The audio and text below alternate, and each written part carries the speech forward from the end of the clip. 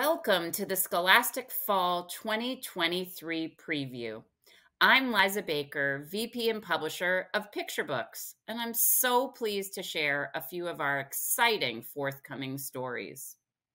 First, we have Why Did the Monsters Cross the Road from beloved and best-selling duo R.L. Stine, celebrated creator of Goosebumps, and Marc Brown, beloved creator of the Arthur series. In their third picture book collaboration, we meet grumpy monster Honey and her persistent monster friend Funny, who is on a quest to cheer her up with an endless array of silly jokes. Funny is unsuccessful until an unexpected surprise splash finale ultimately inspires monster sized crack up. Next up, we have The Baddies, a charming new picture book from best-selling and longtime creative partners Julia Donaldson and Axel Scheffler. Perfect for Halloween, The Baddies tells the story of three spooky villains a troll, a witch, and a ghost who just love being bad. When a little girl moves to their neighborhood, the three baddies are determined to scare her, but they soon discover that little girls might not be so easy to scare after all. And in the end, it's bravery and kindness that win the day. Next up, we have our first Fish Tank Friends adventure. This Tank is Mine, written and illustrated by house talent Jonathan Fenske. Angelo loves his fish tank, but what happens when a new fish moves in? This new series is perfect for fans of Elephant and Piggie, and two time Geisel honor recipient Jonathan Fenske teaches kids that sharing can be fun. The challenges and benefits of sharing are so resonant for today's young readers, and This Tank is Mine explores these themes with sensitivity and humor. And now, let's hear directly from some of our esteemed authors. Hey everyone, I am Tanisha T. Moore, and I am the author of I Am My Ancestors' Wildest Dreams, where we follow our young hero connecting his lineage to dynamic and prolific Black men, men such as Tupac and Biggie, reminding him that even though he's young, his voice can still make a difference. Or like Kobe Bryant, where he learns that if he digs deep, he can channel his inner Mamba, his greatness, to make that game winning shot. Or maybe he can start a bit of good trouble, like Representative John Lewis, for the betterment of all people. It was through my grief for Chadwick Boseman that I penned these words in this book. This is my love letter to these men. I absolutely cannot wait for y'all to read this book. I hope that it sparks you into doing greatness to leave your mark on this earth. Thank you so much.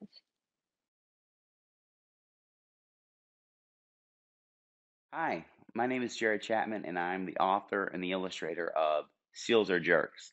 Seals Are Jerks is a picture book about a little girl who is under the impression that penguins and seals are the very best of friends until one day she's told otherwise.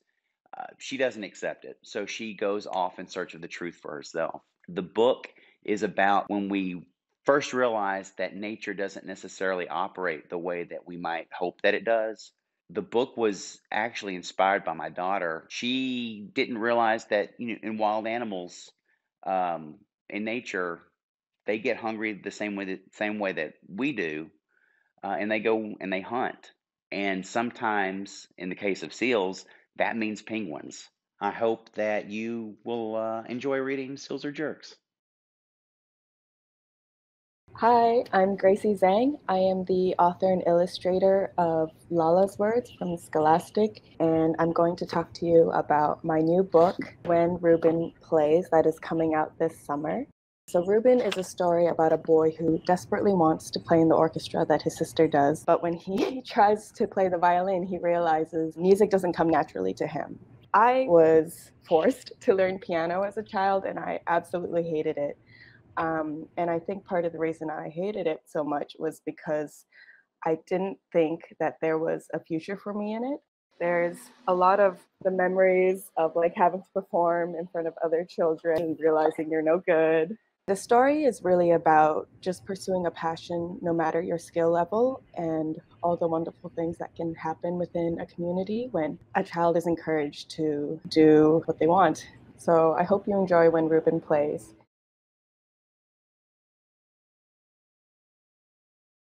Hola, hi, I'm Carmen Agra Deedy, and I'm so excited because I'm here to tell you about a new book. It's a folk tale I heard as a little girl. It's called Carina Felina. At least that's my title for it, because it's a folk tale retold. It's illustrated by the marvelous Henry Cole, and the story is about un perico, a parrot, who falls in love with una gata. Meow. Oh yes, a cat. Mm. Will true love triumph, or will it end in catastrophe? The story is one I loved as a child, is told around the world. I'm doing a slightly Caribbean telling. It's a satisfying ending that most children will love. I think it's perfect. And Henry was Henry. His illustrations are marvelous. I hope you'll enjoy reading Carina Felina as much as we enjoyed working on it.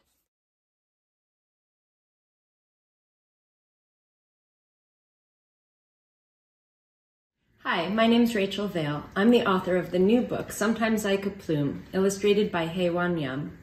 This is a book about Katie Honors, who you might remember from Sometimes I'm Bombaloo and Sometimes I Grumble Squinch. But in Sometimes I Kaplume, Katie wants to define herself as a really brave kid. It's just hard because she has trouble saying goodbye when she's brought to school. And when that happens, Katie kaplumes. But she learns that being brave doesn't require you to never be scared or to grumble squinch all your feelings down. You can be brave even while you kaplume. I wrote this book because my younger son, Liam, had terrible trouble saying goodbye all the time, but especially at school. And Liam's all grown up now, and saying goodbye is easier, at least for him, if not for me. But we struggled through that together and learned together what it really means to be brave.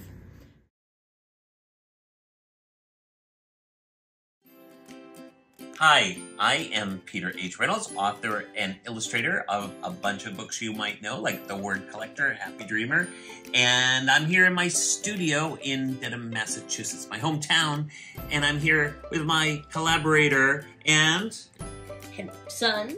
son. Yes, you are my son. Yeah. And what is your name? Henry Rocket Reynolds. Henry Rocket Reynolds. Yes, right there, Henry Rocket Reynolds. And we collaborated on this book, which is called All We Need Is Love and, and a really soft pillow. Where's your pillow? You've got you've got your pillow. And um, so, yes, we wrote this book. It's a celebration of the sweet and simple life, uh, which consists of the person that you love or the people you love, and really, you don't need that much else.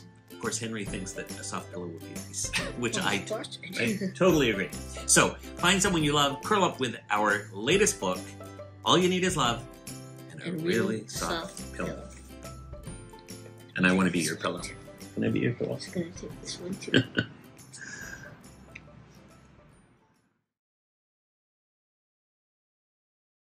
Chapter books and series help young readers gain confidence, reading stamina, and develop a love of reading. In just a minute, you will hear from superstars Aaron Blabey, Lauren Tarshis, and Sayantani Dasgupta. But first, I'm excited to tell you about some new books and continuing series. Delilah and Dominga continue to rewrite the rules in Bad Princesses Number 2, Meet Me at Midnight. It's the night of the starlit search. Delilah and Dominga scheme and plot and ruin the night for the fairest of them all. This series is just perfect for any kid who has ever felt like they just don't fit into the box. From Bad Princesses, we head to Rainbow Days. In book two, The Gold Bowl, it's Coco's birthday, and Zoya wants to give her pup the perfect present. She tries out a few ideas, including a yarn necklace and colorful frosted treats. But she finally decides to paint Coco's bowl gold. With some paint and lots of glitter, Zoya creates a gift Coco is sure to love. We have not one, but two new chapter books by Newbery Honor author Christina Soontornvat. The first is Book Two in the Legends of Lotus Island series, which includes stories about animals, magic, and encourages kids to embrace their power to change the world.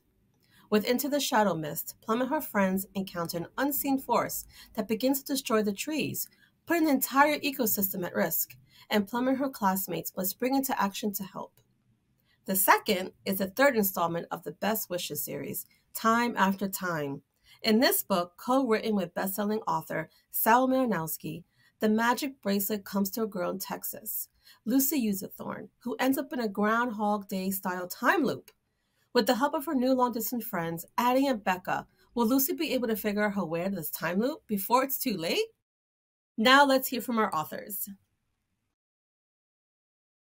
How you doing, guys? It's Aaron Blabey here. I wanted to tell you all about my next project. It's called Cat on the Run, the story of the world's number one cat video star who gets accused of a crime she didn't commit and ends up having to go on the run. But because she's Kardashian famous, she's mega famous, going on the lam is easier said than done because how do you hide and prove your innocence when you're that darn famous?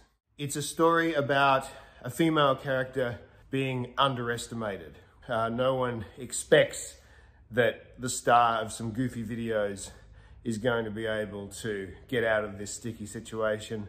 I hope you enjoy reading the first episode of three. There's three episodes to complete this story of how Princess proves her innocence.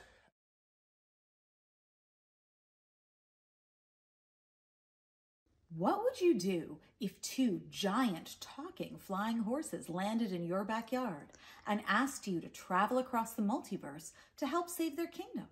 Well, that's what happens to boy girl twins, Kia and Kinjal, in The Secrets of the Sky. Book one, The Chaos Monster, comes out in the summer, and book two, The Poison Waves, comes out in the fall. Will Kia, with her love of science and facts, and Kinjal with his love of stories, along with their rainbow winged magical dog, Thumbs Up, be able to travel across the multiverse, fight their foes, and help their friends. Read The Secrets of the Sky to find out. Hi everyone, I'm Lauren Tarshis. A few years ago, a reader of I Survive sent me an email and said, Lauren, you need to write about the most powerful earthquake in North American history. So of course I thought that it was the San Francisco earthquake, which I'd already written about. But in fact, this reader was sending me in the perfect direction to write about a topic that I'd never even heard of, which is the Alaska earthquake of 1964. That is the subject of my upcoming I Survive book. The research journey for this book was completely fascinating. I learned everything I could about plate tectonics, tsunami, and then I created a plot that I really challenged myself to make even more cinematic and thrilling as I usually try to do in my books. So I think this book is going to take kids on a really unforgettable adventure. I think it's going to teach them a lot, but most of all, it is going to keep them turning the pages. Our fall middle grade list has new books from Kelly Yang, Gordon Korman, Alex Gino, and so many more. Before we hear from our authors, I'm excited to share three books. First, from Lindsay Puckett, the author that gave us The Glass Witch, comes a whimsical new book that's a snicker of magic meets The Sixth Sense. This is the story of Begonia, who is just abandoned at a retirement home, Swamp Root Manor. And it isn't just any retirement home, it's alive it's haunted, and everyone in it is a little bit odd. Everyone except Begonia. And while she's waiting for her oddity to arrive, the manor is in danger of closing. So, Bug has to battle humans, ghosts, and her own self doubt to save the only family she's ever known. Next is a gripping standalone story from Ann Clare LeZotte. As a young teacher on Martha's Vineyard, Mary Lambert feels restless and adrift. So when a league of missionaries invite her to travel abroad, she knows it's a once in a lifetime opportunity. But the endeavor comes at a cost. The missionaries' plan to save deaf children is questionable at best and requires Mary's support. What's more, the missionaries' work threatens the Wampanoag and other native peoples' freedom and safety. Is pursuing Mary's own goals worth the price of betraying her friends and her own values? Together with Show Me a Sign and Set Me Free, this stunning story will enrich your understanding of deaf history and culture and forever alter your perspective on ability and disability. Finally, we have Elle Campbell Wins Their Weekend, a hilarious and heartfelt debut by Ben Kahn. Elle Campbell is desperate to meet their non binary hero, TV star Nuri Grenna, who's in town for a one day event. But when Elle stands up to a substitute teacher who insists on misgendering them, they find themselves in Saturday detention, which means missing the meet and greet with Nuri. Elle is devastated, so their friends come up with a genius, or, depending on how you look at it, totally bonkers scheme to break Elle out of detention. But sneaking out of school is only the first step in what turns out to be an epic journey full of hijinks worthy of Ferris Bueller. In a world that's increasingly keen on telling queer kids that they don't belong, or worse, that they don't exist, this joyful book about a non binary kid feels like a crucial act of resistance. And now, let's hear directly from our authors. Hi, I'm Kelly Yang. I'm the author of the Front Desk series, and I'm so excited to bring you Top Story, the fifth book in the series. Mia and her friends go to Chinatown, San Francisco, where Mia is attending journalism camp. She's so excited to show everyone what she's got, except all the other campers are older. And Lupe, her best friend, is thinking about skipping ahead to college. Meanwhile, Jason has a huge crush on a girl who runs a fortune cookie factory and loves to raid. That's awkward because Mia, gulp has a crush on Jason. I'm so excited for you to read this incredible tale which weaves in Asian American history as well as indigenous history. Full of heart and humor, it's a story that's bound to get kids talking. And I want to thank you from the bottom of my heart for allowing me this chance to write it. Thank you for supporting the Front Desk series through all the ups and downs. It's been a roller coaster of a ride, but I can't believe it. I'm so excited and proud. Our characters are finally getting their top story. I hope you love it every bit as much as I do.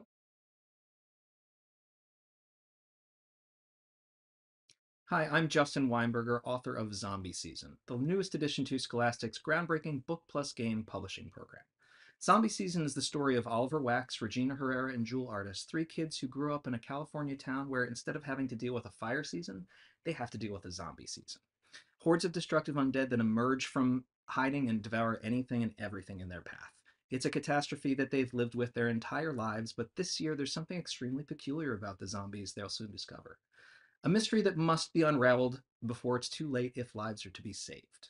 Like all my favorite zombie stories, it's not only about how our heroes survive an ever escalating series of zombie threats, it's about how they overcome what scares them more than any zombie ever could. To me, that's the whole point of zombie stories and why I love this project. It's not about something that's out there that's coming to get us, it's about who we are and what makes us human.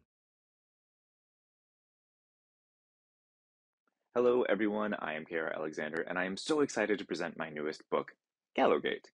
You all know me best for my creepy tales for young readers, but what you may not know is that before I started writing under my pen name, I was actually writing fantasy.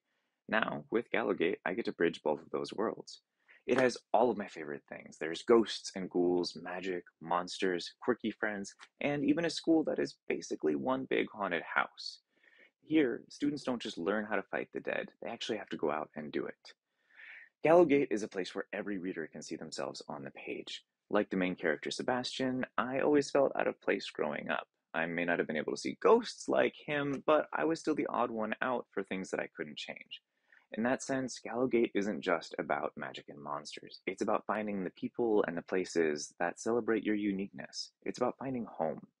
I am absolutely in love with these characters, and I cannot wait for you to fall in love with them as well. The dead are waiting. Are you brave enough to fight them?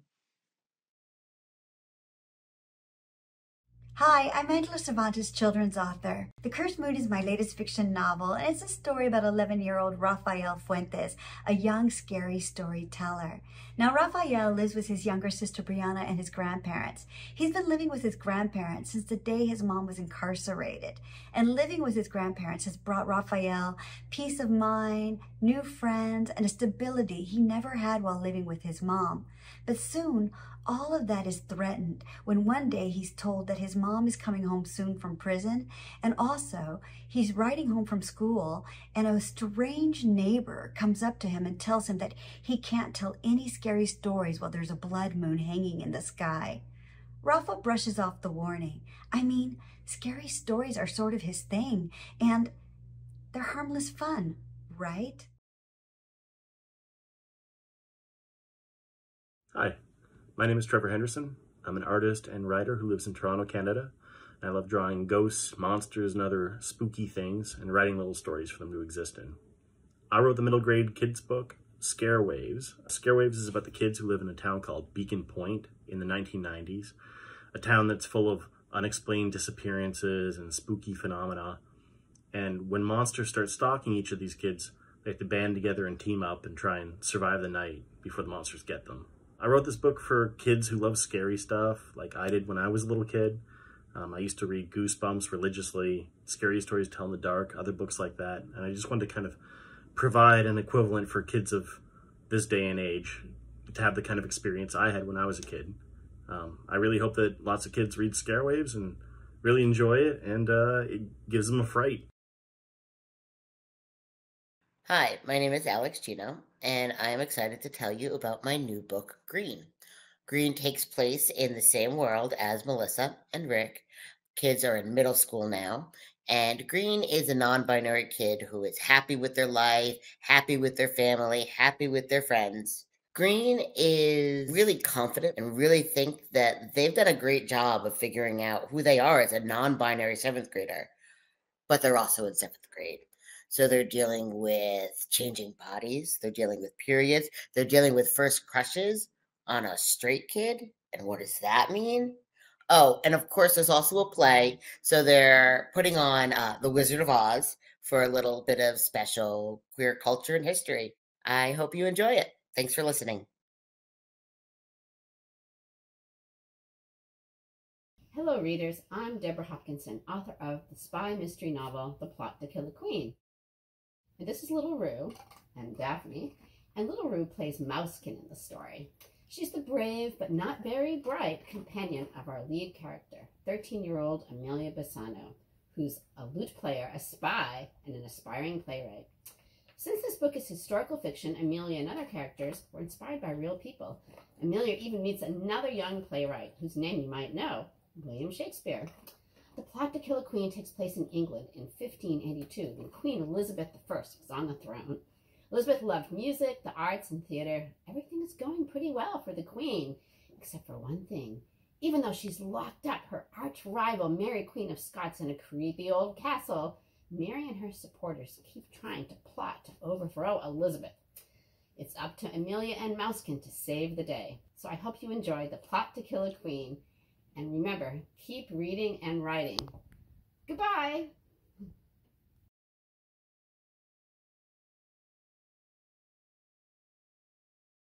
Hi, everyone. I'm Wendy Shang, and I am the author of Bubble Trouble. At my house, we love boba. My personal favorite is right here taro milk tea. In this new book, when Chloe Wong, who is a total neatnik, takes an innocent trip to the new boba shop, all sorts of trouble begins. She should be staying away because she needs to save her money for the school field trip, and plus, this really annoying boy from school works there. Unfortunately, this boy, Henry Lee, always seems to know the perfect drink to make for Chloe. When Chloe gets banned from the shop for totally unfair reasons, she decides to open her own boba business. I actually interviewed one of my kids' friends who worked in a boba shop to find out what it was like. And we may have taken a few trips there just for research. This book has best friends, a really large rescue dog, an inventor dad, a feisty aunt, and a family secret. Check it out.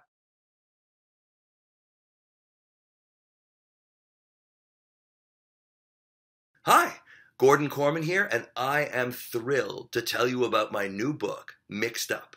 It's about a couple of kids, not best friends, they don't go to the same school, they don't know each other, and yet they suddenly become aware that they have memories they're pretty sure never happened to them. Almost like they're getting somebody else's memories, and they have to use those memories as clues to track each other down, figure out what's happening to them, and how can they reverse it?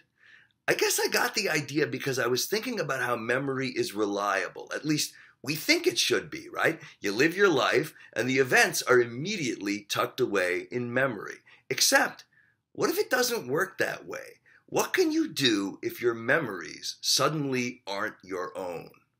I hope you enjoy Mixed Up. Our graphics Fall 23 season is packed with adventure and heart. In a few minutes, you'll hear about some exciting debuts and the return of the series that started it all, Bone. First, though, I'd like to tell you about a few books in continuing series. Grace and Friends return for a new adventure in the second installment of the best selling City of Dragons series, Rise of the Shadowfire.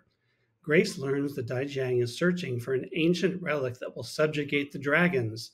The team must get to Paris to stop the plan, but their new ally, Dr. Kim, may not be all she appears, and Dai Jiang has formidable allies of his own a strangely familiar accomplice and a terrifying, powerful dragon that could threaten all of Paris. Cat Kid Comic Club Influencers is coming November 28th. The story is hysterical, thought provoking, and full of action packed mini comics, including Frogzilla versus Mecha Frogzilla, RoboChubs, and Two Birds, all showing the value of viewing the world with a positive attitude. Alice Oseman's Heartstopper is a New York Times bestseller, hit Netflix series, and now there is an eagerly awaited fifth volume. Nick and Charlie are very much in love. They finally said those three little words, and Charlie has almost persuaded his mom to let him sleep over at Nick's house. But with Nick going off to university next year, is everything about to change?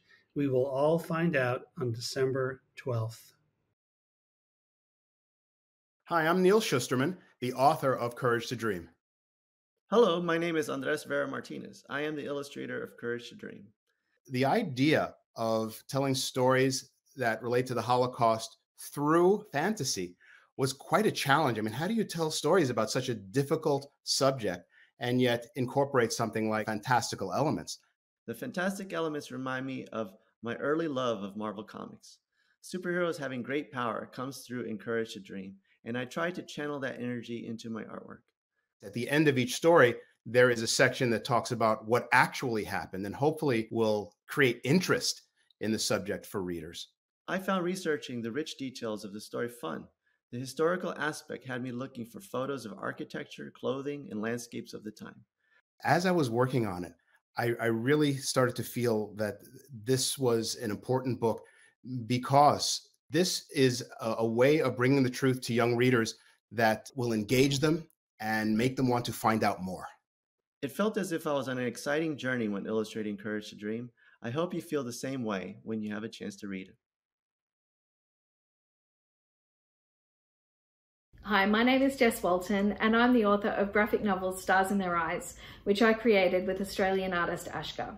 Maisie is 14 and she's on her way to her very first FanCon with her mum Jo. Like me, she's an amputee with chronic pain and anxiety. When she gets to the FanCon, she runs into volunteer Ollie and Sparks Fly. And they connect while dealing with daggy parents, TV star no-shows, and all the fun and chaos of a FanCon. Was very important for me to draw the details of Maisie's and Jessica's experience accurately. I asked Jess for some movement videos, which I then used as a reference. This added real authenticity when depicting scenes from Maisie's everyday life, such as walking around with a prosthetic leg, getting out of the car, or sitting on a beanbag.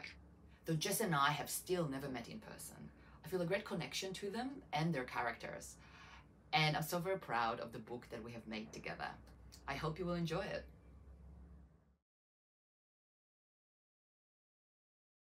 Hi, I'm Zachary Sterling, and I'm a Filipino American comic book artist and author from Portland, Oregon.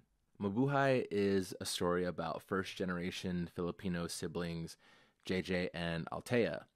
And they're just trying to balance surviving middle school and working at their family's food cart. All the while, they're constantly getting lectures and hearing these folk tales they've heard a million times from their parents. And one day, when monsters and magic and witches from these same stories end up threatening their family, it's up to JJ and Altea to embrace their culture and who they are to try to save them. I wrote Mabuhay as a love letter to all of the stories and food and culture from my family that I got growing up, but also wanting to belong to the culture that's outside of your home. Hello, I'm Jeff Smith, the creator of the Bone graphic novel series for Graphics and Scholastic. A few years ago, we realized that there was a few orphan stories that hadn't made it into the Graphix Bone canon. So we created a, a book called Bone Tall Tales, which included not only the stories that uh, that were that we hadn't seen in a while that were out of print, but some brand new stories. Here we are a few years later, and we've got a few more orphan stories and some brand new stories uh, for something we're calling more tall tales. We have stories about uh, the origin of the rat creature's obsession with rat with uh, with quiche. We have uh, we have Big Johnson Bone going to the moon. Uh, we have uh, we have a story that takes place when the bones go from the valley through the desert on their way home. Some of those adventures. It's a really fun book. I'm very excited that it's coming. It's going to come out in September, and I can't wait for people to see it. Hi, David Levithan, and I'm here to kick off the YA portion of our Fall 23 preview. Before we get to some books with characters who are unfamiliar to you, I have two books to talk about with characters who may be very familiar to you. First up is Alice Oseman's This Winter, which is a wonderful novella featuring characters we know from Heartstopper and Solitaire. Yes, I'm talking about brother and sister Tori and Charlie Spring. And this book is really wonderful because it talks about how the holiday time is a time of coming together, but it's also a time of challenges. And that sometimes when you're not in the mood for everybody to be around, you really need to, to open up to a select group of people in order to get through a hard holiday.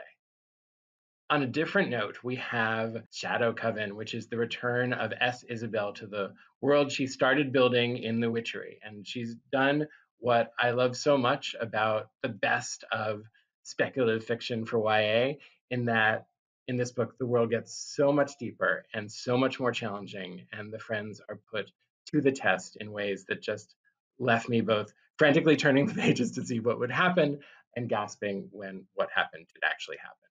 So, enough of me talking. The people you really want to hear are the authors. So, I'm now going to hand it over to the authors to talk about their book.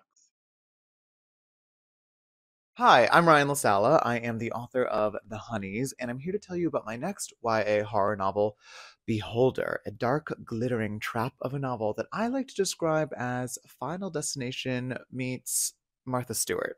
Beholder is about a kid named Ethan who has to use his uncanny ability to rewind mirrors, seeing everything the mirrors have seen before, to investigate a series of seemingly spontaneous murders and suicides plaguing the art world of New York City. But beware, there is always a cost to looking, and some things once seen cannot be unseen, and something lurks in the mirrors waiting for Ethan to notice it. Beholder really is an exploration of the darkest corners of the mind, and while it pains me to write something so scary, I am so excited that you are here to explore those corners with me. This book also combines two of my favorite hobbies, which are interior design and trespassing. I hope you love Beholder as much as I loved writing it, and I cannot wait to hear your screams from afar. I will see you on the other side of the looking glass. Hi, this is Sharon Cameron, and I am so excited to be here to tell you about my newest novel for Scholastic, Artifice, the story of Isa de Smet, a girl raised in the glittering world of art, a world dimmed and destroyed by the Nazi invasion of the Netherlands. But Isa decides to fight back by funding a ring of the Dutch resistance, a ragtag group of students and her former best friend dedicated to smuggling the last Jewish babies out of Amsterdam and into safety. And how will she fund it? By selling art. an exquisite, priceless Vermeer, a forged Vermeer, and to none other than Hitler himself, tricking the Nazis into paying for the rescue of the very children they are trying to annihilate. Artifice is about beauty, about our search for beauty and how we can find it and how we can create beauty for ourselves, even inside an ugly, ugly world. So I hope you enjoy Artifice.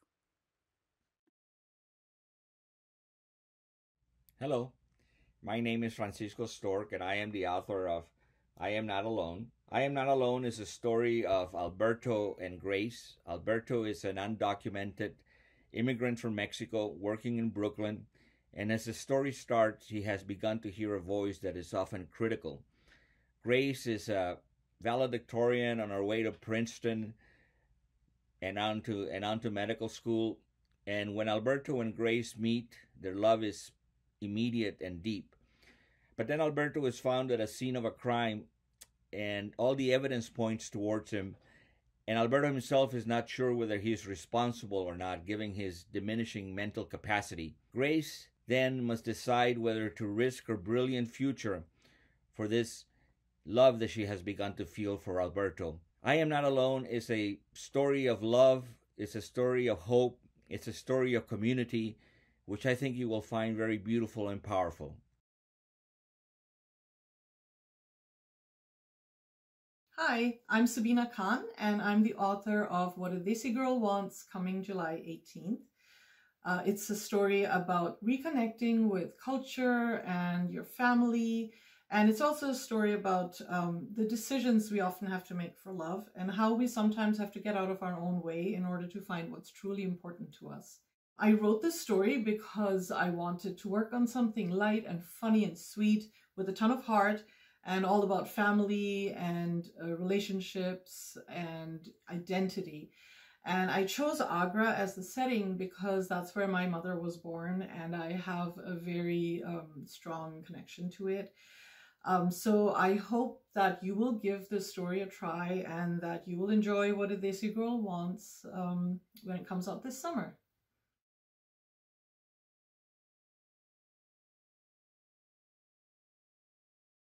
If there's one thing to know about me, it's that I love nonfiction.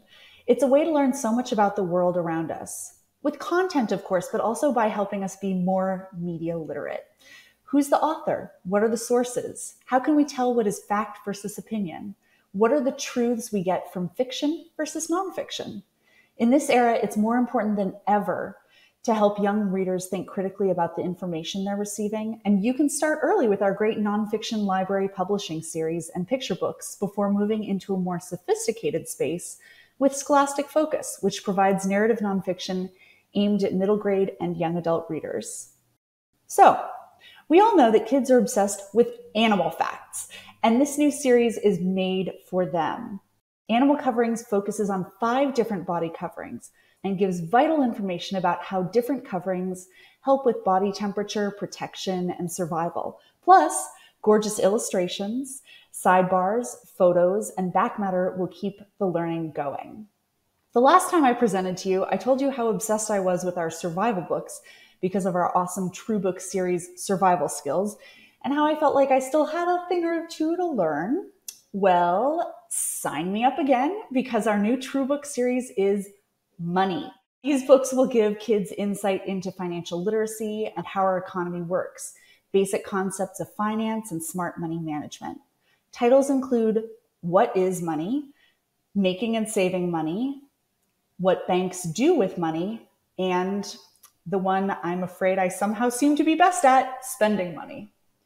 And as promised, we don't stop at great series. Coming up, you'll hear from a few favorites on our fall list. Hi, my name's Eddie Chuculate, and I'd like to tell you about my new book, This Indian Kid, forthcoming in September from Scholastic. It's a memoir about growing up Creek and Cherokee in Oklahoma, attending 13 different schools in many towns, and being shuttled between living with my mother or my grandparents, Granny and Homer. One day in sixth grade, my uncle said something to my best friend Lonnie that I've always remembered to this day. From the shame and embarrassment of my uncle's actions, sprang this book, This Indian Kid.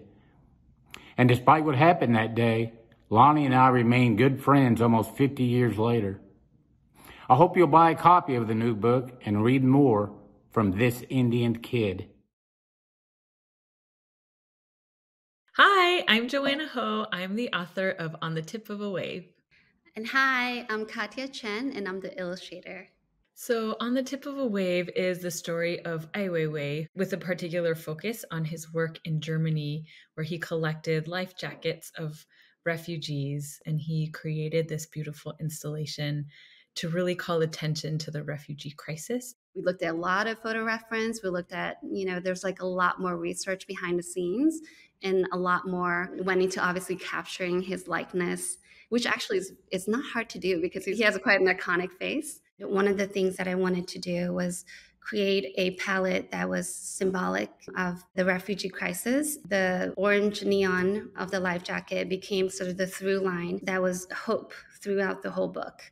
And then also the blue was linking back to old dynasty, like Chinese dynasty. And I know Ai Weiwei actually incorporated one of the vases in one of his performance pieces. Thank you so much for listening.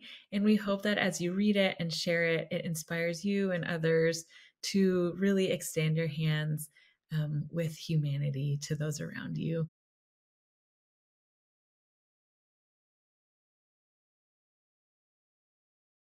Hi, I'm Denise Lewis Patrick, the author of Justice Ketanji, the story of U.S. Supreme Court Justice Ketanji Brown Jackson. Many young readers will recognize her name and may know how special she is. She's a working mom, she's a loving daughter, a big sister, and a good friend. And she comes from a family that has always supported and encouraged her, even from when she was a small girl, to be her best self, even when things got hard. I think readers will be engaged from the first moment they see Kim Holt's smiling cover portrait and vivid interior illustrations. I'm really proud to share Justice Ketanji with young readers and to share with them words that her father said to her You can be anything.